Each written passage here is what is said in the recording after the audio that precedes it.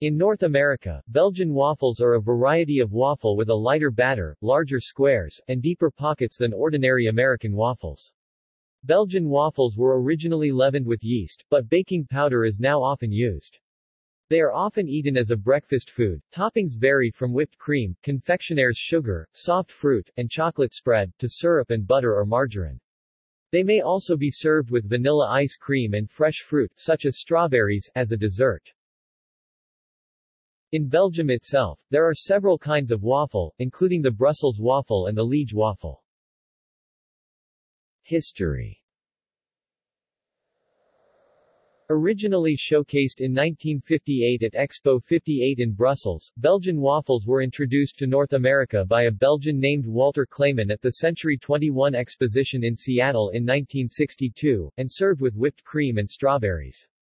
The waffles were further popularized in the United States during the 1964 New York World's Fair at Flushing Meadows Park in Queens, New York City.